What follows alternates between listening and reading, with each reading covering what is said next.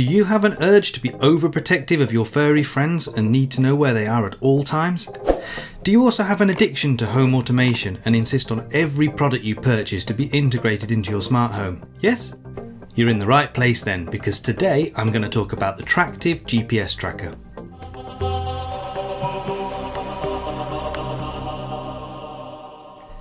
This is the Tractive GPS tracker for dogs. It attaches very easily to your dog's collar and provides its real-time location to an app on your smartphone, tablet or any web browser. It's basically like one of those trackers that the spies use in movies and stick inside the wheel arches of cars, but it's for your dog. I've had this one for over a year now, and as you can see, it's been through a lot. It's scratched and muddy, but importantly, it's working perfectly. Biscuit the cockapoo has put this thing through its paces, and it's dealt with regular beatings from seawater at the beach, sand at the dunes, and muddy clay puddles at the old quarry. The battery is rechargeable and lasts about a week. I just have to make sure that I put it on charge every Saturday evening normally, and the supply charger is just a USB cable with a proprietary clip on the end that snaps straight onto the tracker. Moving on to the features then. Well, its main purpose is to show you where your pet is, assuming that the aforementioned pet has the tracker on their collar still.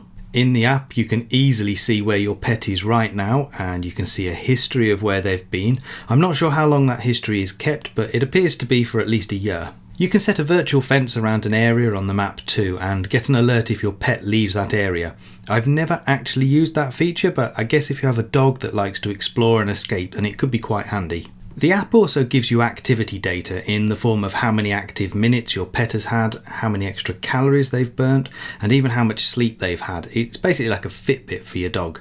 There's a leaderboard section too that lets you compare your pet's activities with others of the same breed in the local area or with all Tractive users globally. My favourite part though is the live tracking. By default, the tracker only reports its location every couple of minutes.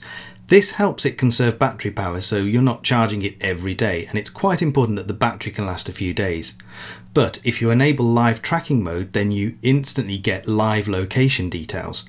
If your dog has suddenly bolted then turning on live tracking mode will tell you exactly where they are right now rather than just their last known location. There are a couple of other useful little features on this tracker. Uh, there's a little LED light on it that can be useful when walking around during the twilight hours, and a speaker that emits a beep, which is really good for recalling your dog.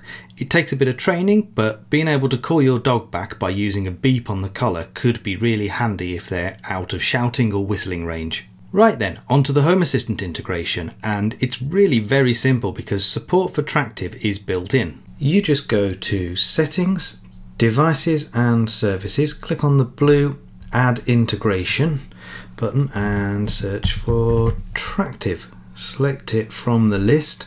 You'll be asked to sign in with your user account like this. Click on Submit and it'll immediately find the tracker that you've got assigned to your account. Check in devices. It'll create one device, in this case it's called Biscuit for me, and in there you get a number of entities, uh, including switches to control the LED, the buzzer, and turning on and off uh, live tracking. The most useful entity of all, though, is this one here, I think, which is the device tracker uh, that will show the uh, location of your pet.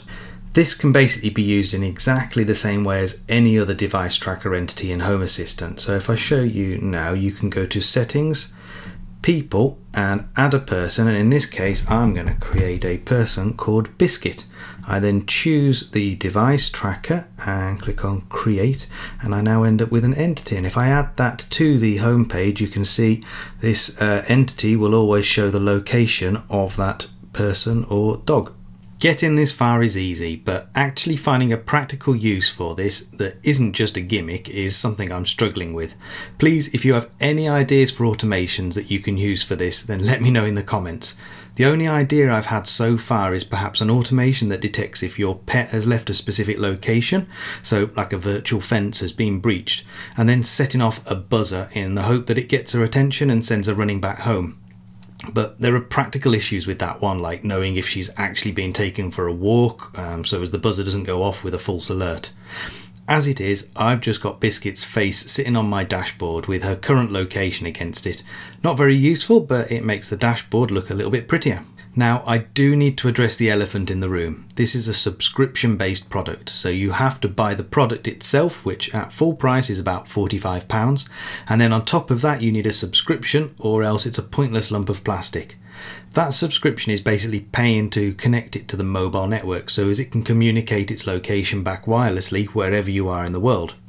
There are a number of plans and they range from £12 a month at the most expensive down to £4 a month, but and this is likely to cause a bit of confusion. That cheapest package is actually the top package in terms of features. That's because to get the cheapest price, you have to pay for five years up front. I paid for two years up front on the premium package, which works out at about £5 a month. At the time, I figured my dog would probably destroy this tracker quite quickly, but I was very wrong. I did say that this costs £45 at full price, but I've frequently seen it on sale for £25, which is what I paid, and even free when you buy the subscription sometimes, although I've only ever seen that once. Basically, if you're going to buy one, then keep your eyes on the sales. Overall, this has given us peace of mind for not a massive amount of money really, and it has the added bonus of Home Assistant integration. Given that this gadget has taken absolute battering over the last year and is still working perfectly, it has got to be a glowing report of how well built it is. Anyway, I hope you enjoyed this video. I know it's a, a, little bit different to normal, but if you liked it then please give it a thumbs up and subscribe to my channel to see more videos from me. Thank you for watching, goodbye.